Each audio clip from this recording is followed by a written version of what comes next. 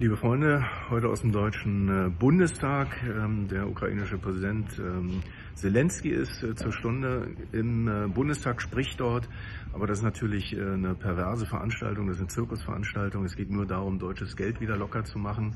Man könnte ihn mal fragen, wo eigentlich, ähm, warum er nicht seine Millionen einsetzt.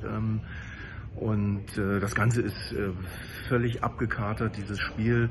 Wir Deutsche werden wieder ausgeplündert. Insgesamt kostet uns der Spaß mittlerweile mit den Sanktionen auch 250 Milliarden Euro und mehr auch.